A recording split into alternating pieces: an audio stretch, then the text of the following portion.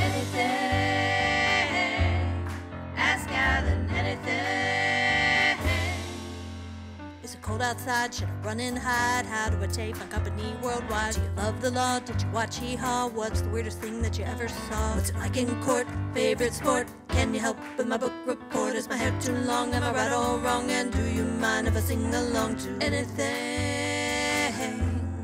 Ask Alan anything in the world. Hello, everybody, and welcome to this uh, episode of Ask Alan the podcast. I'm Alan Crone, the CEO of the Crone Law Firm, and um, with me today, I'm I'm very excited to have the uh, extremely photogenic and uh, competent uh, Ursula Madden uh, on uh, on the program. Ursula, as many of you know, is the Chief Communications Officer for the City of Memphis. she is a uh, she's world famous in Memphis, having been um, an anchor of the WMC TV Channel 5 News uh, and uh, just a, a, great person. Uh, Ursula, welcome to the, to the show. Alan, I'm so happy to be here and thanks for thinking of me. And um, it's great to catch up and, and to see you. Well, thank you. Thank you. I've, I've missed my time uh, in City Hall. But you know eh, there's a season for everything and and i've moved on to other things but you're still there in the trenches and and uh, I, am I'm, I'm glad that you are because you're doing a great job. Well thank you very much. And and it is a little bit like uh, being in a battle every day. Um, a lot of a lot of highs a lot of low lows but um, it's it's fantastic. It's great to serve the citizens of memphis. Well would you would you kind of explain to uh, listeners what uh, what what does your job uh, entail? Uh, you know, communications director. A lot of people think that means uh, you know just being the spokesperson for the mayor, but you certainly do that. But you do a lot more than that. Sure. So this position um, evolved greatly in 2016 when Jim Strickland was elected to um, become our mayor. It used to just be a public information officer who primarily that person's duty was to um, provide talking points and be a spokesperson for the mayor. Um, when he brought me on in 2016, he said, I want a chief communications officer who does communications for the city. And so uh, it's not just, I, I tend to look at our communications team as sort of a public relations and crisis communications firm within city government. And what we do is we represent all of our clients. So all of our divisions, uh, whether it is engineering or public works or solid waste, um, and including the executive division of the mayor's office. And um, we try to provide them with the best PR, with uh, the best social media presence, with the best talking points and event planning and um, the list goes on and on about um, what we try to do for our different divisions. But so the role is greatly expanded, um, not just a spokesperson for the mayor, but really a spokesperson um, for the city. And um, since we came here in 2016, we try to speak with one voice so that the right hand knows what the left hand is doing. Yeah, it's not just communication outwardly, it's also communication internally, correct? That is true. So also responsible for communicating different changes within our HR division to um, our different divisions here in city government and to also keep them informed. We just passed a budget. So there's some, some different things that are coming out of there in terms of um, what we're calling premium pay that is from the ARPA funds, the ARPA federal funds. That has to be communicated. Uh, we just sent out a memo about that yesterday. And it could be something as simple as hey, we're having a City of Memphis family picnic. so come on out for the weekend and have a good time with your family and friends. What has been your um, what do you where do you think you've made the biggest difference in that transition from um, you know kind of a a mouthpiece for just the mayor to having a more integrated communication strategy for the for the whole city well, I think that I think that people are a little bit more aware of what is going on in city government. At least I hope. What we've tried to do with our communications is meet people where they are. So if that's on social media, if that's on Nextdoor, if that is um, through the mayor's weekly email that we send out to about 35,000 subscribers, um, we try to meet people where they are and talk about the things that matter to them and take them along on this journey. Um, I, I kind of consider it an adventure. What's going to happen each and every day, we don't know, but city government has such an impact on people's lives. And if you're doing it right, they don't even know. Um, if your if your roads are smooth and your garbage is collected and um, you know you're doing a groundbreaking on um, three or four new buildings that are going up in the next 18 months, people you know don't know that's their city government at work, but they know if it's if it's going wrong. So the challenge is uh, making sure people know what's going on in city government to the best of our ability, and then also communicating when things aren't going quite well. Um, and to take people along for that ride too, because they deserve to know. That's right. And, you know, it excellence sometimes is doing a lot of little things right consistently. Y- y'all do big well, but, uh, you know, for example, you mentioned that email that the mayor sends out. I, you know, I remember it started out at about three or 4,000 names. And, you know, we really thought we were big time sending out three or 4,000 emails uh, a week, and now it's over 35,000. And, you know, of all the things that the Strickland administration has done, I think that's one of the most impactful because people come up to me all the time and say, Oh, I get his emails. It's wonderful. And, and all it really is doing is just telling people what's going on. It, it, those emails usually don't cover, um, sometimes they do big announcements, but usually it's, it's pretty mundane stuff, but just letting people know what's going on with city government. Oh yeah, I mean, it's one of the things that the mayor gets the most compliments on uh, since he's been up here too. Is gosh, love that email. You know, keep it up. And you know, it's explaining things like pilots and tourism development zones and what happened at city council. And the thing that I love about it and get excited about it is it's not through the filter of any other media organization. It's, you know, this is straight from the mayor's desk telling you what is going on inside you know your government the government that your taxes pay for. And um, you know there's no there's no spin on it because it's it's our presentation of the facts um, without someone else's interpretation. And so we i love the direct communication approach you know uh, we do we do that um, with Nextdoor as well. Um, Nextdoor started off as sort of like, oh, we'll, we'll kind of dip our toe into this and see how it works. Now there's 108,000 households who subscribe to City of Memphis Nextdoor. So we can push the message out that way. And what's great about it is you can get down into a community. You don't have to send a message to all 108,000 households. You can send, maybe it's just to Orange Mound or, you know, a certain zip code. So I, I love the flexibility and our ability to communicate um, directly to people.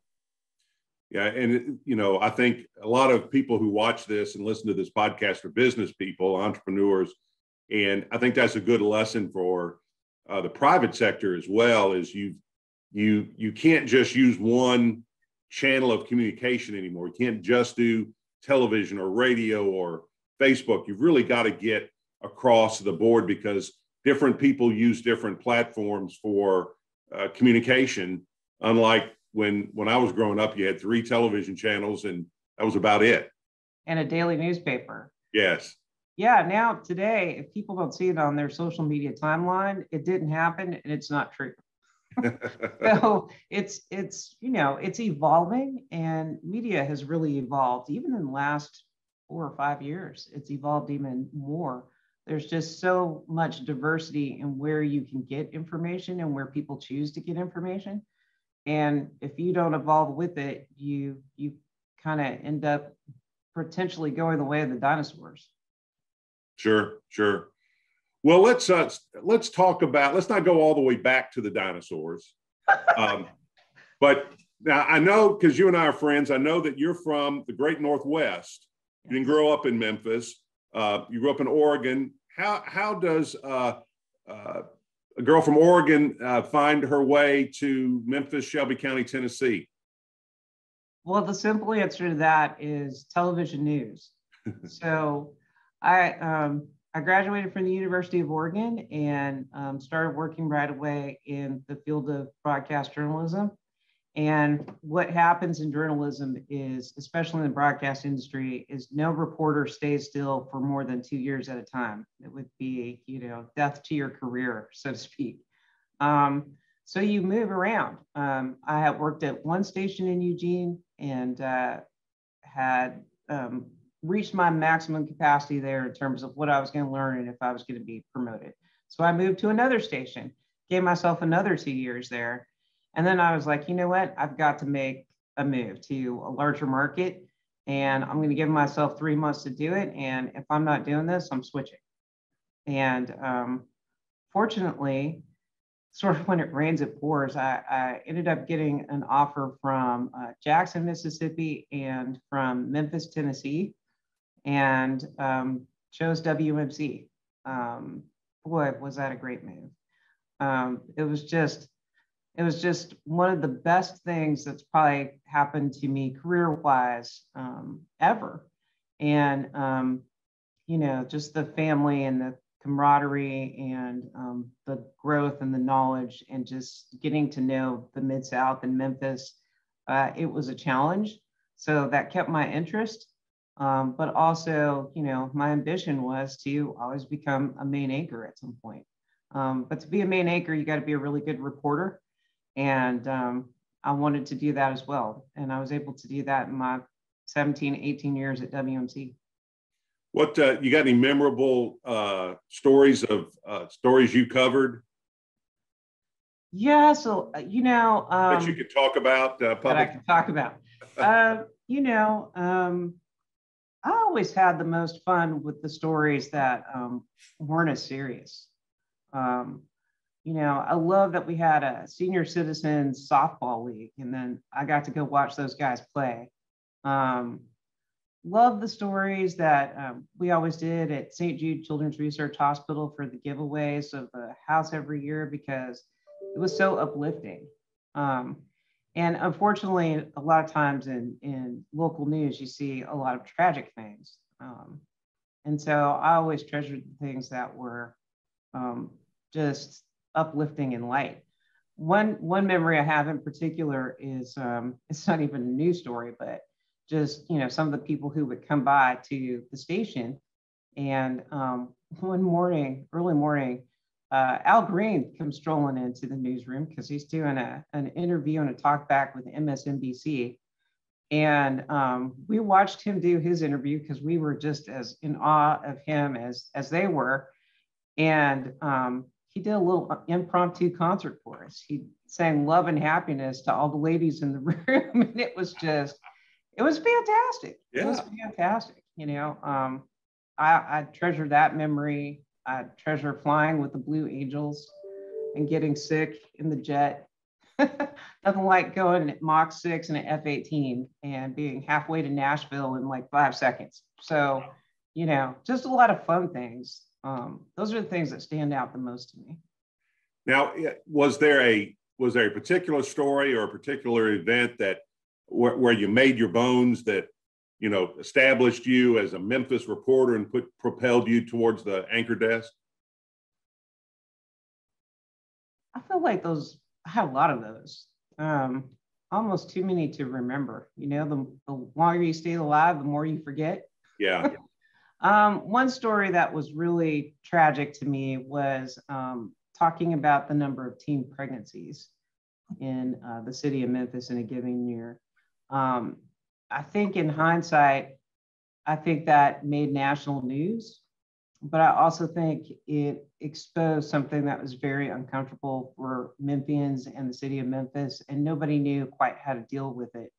I think not even our newsroom really understood the impact that making that reveal or telling that story was going to have um, on the community.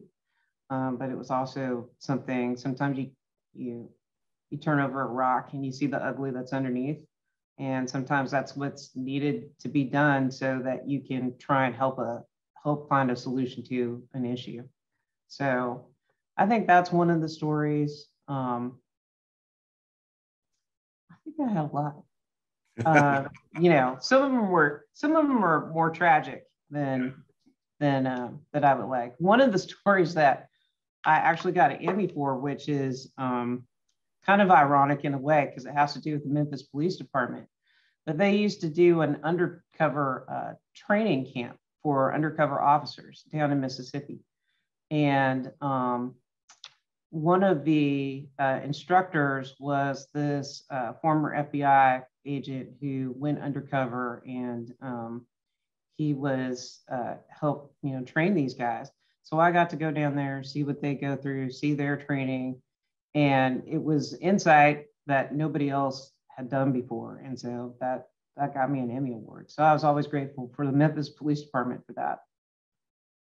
Well, very nice, very nice. So this is the question everybody watching this wants wants me to ask, and that is this: Is Joe Birch really as nice of a guy in person as he is on the air?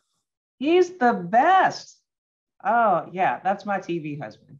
Yeah, uh, former TV husband. I guess I can't claim him anymore, but um, yeah, he's uh, salt of the earth, just down to earth guy. Really cares about Memphis. Really cares about storytelling, and that's his real hair.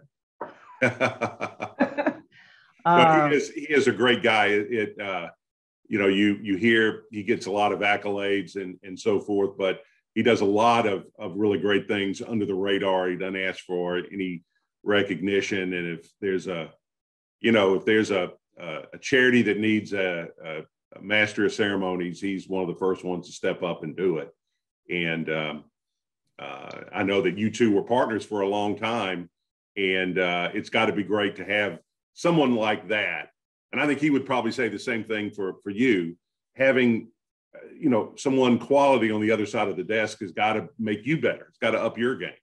Oh, totally. Bring your A game when you're uh, with Joe Birch. I considered him a mentor before we became uh, partners on the anchor set. Um, I always appreciated his work ethic. He just he worked really hard. Um, even before he got into the doors of the station, like he said, if somebody needed an MC or needed something done, Joe was there to do it. Um, he's been a volunteer in this community uh, for so long with his race for um, St. Patrick's and um, his delivering of meal, meals for uh, MIFA. Um, you know, he delivered meals. And when I first got here, I delivered meals for five years because Joe Birch did it. And I thought if he was doing something like that, it must be worthy. And um, it just, it was so good having somebody. I never worried um, if I was going to drop something on the set. I knew Joe would pick it up. Um, you know, at some point, you you get to know somebody so well, you're finishing their sentences. It's it's a little like being married. um, it annoys my husband when I finish his sentence, but sentences. But uh, Joe Birch never minded because we were always thinking, you know, very much alike. Um, so it was just very comforting. And he says that I'm his favorite. He's had about like 10, you know, former television live, wives. We uh we all lined up for a photo one time. There was like 10 of us. that was well, good. so in 20 at the end of 2015, the uh the Jim Strickland transition team comes a knocking on your door. Was that something that was that just completely out of left field for you? it was so far off my radar that it was amazing. Um, when the transition team first reached out to me, I kind of ignored it because I thought, you know, they must be making a mistake. You know, I'm not sure why Jim Strickland would want to talk to me. And then uh, finally, his his former law partner, uh, David Kustoff, reached out, and and and then I knew it was kind of serious. Uh, David and I have a daughter, our daughters go to school together. And he said, Hey, you know, Jim Strickland's been trying to get a hold of you. I said, Yeah. He goes, he, he wants you to come be part of the administration. I think I probably sat on the phone for 20 seconds and didn't say anything because I was so shocked. And David's like, Hello, hello, are you still there? and um, but I, I really had to think about um, making that transition because I had no intention of ever leaving Channel 5. I thought I was going to be there forever. And um, so there was a lot of there was a lot of prayer, a lot of pros and cons lists, a lot of asking family members, what do you think I should do?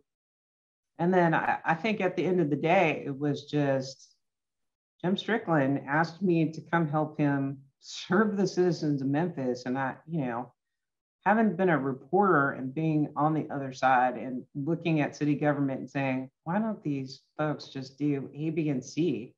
You know, it's so simple from the outside looking in. And I thought, you know, I, I talk about city government like I know how it should be done. And, you know, why don't I put my money where my mouth is and and actually delve into serious service? What is it like to have um, you know, be part of a servant leadership team. And so, you know, I, I ultimately said yes. Well, you know, I'll, I've often thought as, as I kind of looked around the, the SLT, the senior leadership team meeting in the mornings, that everybody around that, that table uh, was working kind of within their own career. You know, Alex Smith is in HR and Brian Collins and Shirley Ford were financial people. Uh, I don't want to leave anybody out, but you you get what I mean. I, I had a law firm to go back to, but you really you really kind of burned your boat as you went from uh, you know broadcast journalism to uh, being the the uh, chief communications officer for the city. Um, what was the biggest adjustment that you had to make in that transition? I want to actually say the pace and um, being on the other side of the microphone. Um, you know, we are always prided ourselves in television news about breaking news. You know, oh, we did, you know, breaking news story and we handled it so well, and we were the first to deliver it. And here in city government, you're almost on the inside of every breaking news story that has to do with the city, well before anybody on the outside knows it's even going on. Um, it probably took me about eight months, maybe nine, maybe even 10 uh, before I was like, okay, I can do this. I mean, it was, it was a, it was a moment. I, I you know, um, handling budgets, handling uh, personnel, being responsible for people, um, building what is now our communications team. I mean, we started off with four people, we now have 24 people. Um, and it takes that many people to actually run an effective communications team. Um, but I think the the pacing and being inside and having all this knowledge about all these things that I know are going to become news, um, that was a big adjustment in the pace. Um, I've never had more meetings in my life than I've had since I became involved in city government. And with the pandemic and going to webinars and, and Teams meetings and GoTo meetings, um, those meetings even increased in my day. So it's it's kind of amazing um, the transition that that took place. It, it took quite a bit of an adjustment. Sure. Yeah. I, I don't know quite how to ask this question, but you know, again, going from one side to the other, does if you were to go back to at you know at some point go back into the the media, the fact that you were involved, does it humanize the players more so? In other words, you know, when you're when you're outside and you're looking in, well, it's the city, it's the mayor, it's the city council. Now these are all people that you know. And does that put a kind of a different spin on how you you think you might cover um, the news going forward? Not because you know them and you're friends, but because you've seen the humanity of it. I think it would change it. Um, one of the things that actually sort of hurt my heart when I came into this um, was how deeply unknowledgeable I was about city government. You know, you work on the outside of something and think you know it very, very well. And the truth is that you you don't know and you couldn't know until you were here in this environment in this atmosphere and what's actually kind of shocking is the number of reporters out there who cover city government who don't know. Um, they don't know where to look. They don't know where to research. And they don't take the time to cultivate sources and to get to know people as they should. Um, I have stood back really in horror and watched um, some of the coverage of um, city issues and also of the people who are a part of city government and just been amazed. Um, you know, whether it's, in my opinion, lazy reporting or just lack of knowledge or um, quite frankly, um, you know, certain people's own agendas. Reporters have agendas. Um, it's it's been a little disheartening and um, sometimes I, I feel kind of sad about my former profession and i try to look back on it and say i, I hope that i didn't approach this story this way um, but it was very humbling to come in and realized how, how much i did not know um, about how city government works um, it was quite frankly embarrassing and humiliating but it you know being on the inside of it and seeing how hard people work, not just the mayor, but um, all the division directors and all the people who work under them and all the people who um, provide city services. Um, it's been it's been humbling, and I understand how hard city employees work, and it gives you a different perspective. I think city employees a lot of times get a bad rap about um, not working hard and um, just you know you're sucking tax dollars away, and what do we get? But you actually we actually provide um, a very very good product um, that only breaks down about 2% of the time and um, you know the truth is is that um, these folks work really hard and that's from our mayor to our city council members who you know we may disagree with them on certain issues but they think they're doing the right things and they think they're doing the right things for the citizens of memphis so it's it does humanize people and 2021, I think a lot of us have become really cynical about institutions. And, you know, there, there's a lot of justification for that. But I think it's important to, to remember that institutions are made up of people. And I can only speak to city government. I, there are just so many people in city government that love the city of Memphis and are doing what they do out of that love. They could be making more money or doing more things other places. Um, and that sounds kind of schmaltzy, but it's it's the truth. And I think when people ask me what was the biggest eh, surprise you had going to work for the city, I won't say I was pleasantly surprised at just how much uh, care and passion there is. May not agree with everybody all the time, but um, as you say, from the city council, the mayor, to uh, you know rank and file employees is uh, a lot of good going on every day by people who uh, work for the city of Memphis. So true, so true, and and they're just so dedicated, and and that comes from the top too. I mean, you know, I know you were teasing about us being obligated to say nice things about Jay Strickland, but you know, um, leadership matters. And so if the person at the top is saying, I'm going to work hard and be held accountable. Makes everybody else say the same thing. And um, that's what's been great um, about working with this team and the other folks who are on the senior leadership team.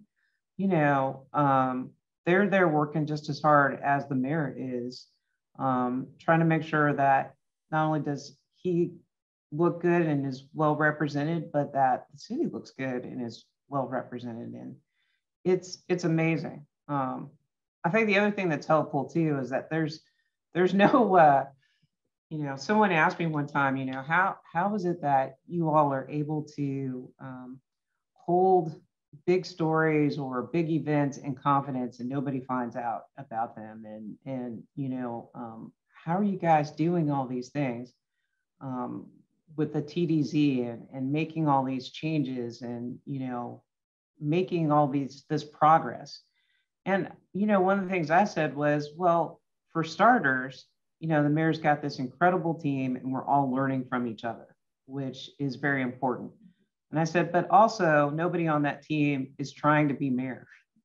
You know, there's no undercutting of Jim Strickland. Nobody's trying to jockey for position or, you know, become the, you know, next elected mayor of the city. And I think, I think that makes a difference. And I think that may have been something that we haven't seen in previous administrations.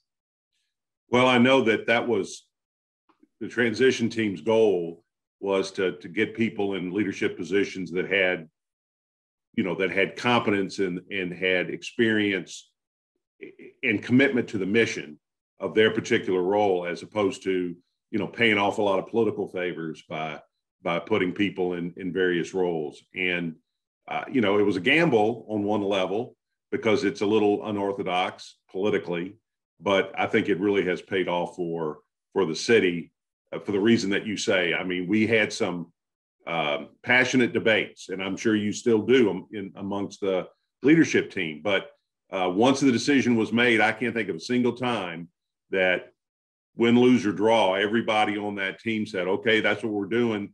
And they all pitched in, and that is rare. It, not just in politics, but in business and life, it's rare that you have a team that cohesive. Yeah, I, I agree. And I hope some of the things that have changed, there, there was not a, a C-suite or a senior leadership structure um, prior to city government, prior to 2016. But that's one of the things I hope survives. And I hope that survives for, um, you know, the next incoming mayor, you know, whomever that may be. Um, just because the reporting structure, the way it was before with a CAO just reporting to the mayor, you you can't manage it all. You just can't. So you you've got to have you got to have some trust in the in the people who are who are working with you and um, being able to have some other folks manage it alongside you. I think is is helpful to good governance. Right. That's exactly right. Uh, well, well, uh, Ursula, that those are all the questions I had, and it looks like we're just about out of time. So, um, I, I, really appreciate you doing the show, and uh, you classed the place up quite a bit. Uh, and uh, I just appreciate uh, you doing this so much. Well, um, I have to tell you, Alan, we miss you. And um, to be completely transparent, we still call on you from time to time to help us out with things going on at the state legislature, and we appreciate that as well. And, um, you know, nobody knows what this is like unless you've been here. And so you know how it is. It's great. I still have our our picture um, of, of the whole team. Um, that, that may be the had. only one. I think that may be the only one. And I think it was like bring your dog to work day. It was. It was bring your dog to work day. And the fire department brought was his name Wilson.